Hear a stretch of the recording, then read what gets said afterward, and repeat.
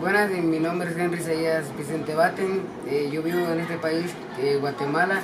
Eh, mi, dibujo representa todos los símbolos patrios, como por ejemplo el símbolo de, nuestro país, la ceiba, la bandera, la marimba y el quetzal.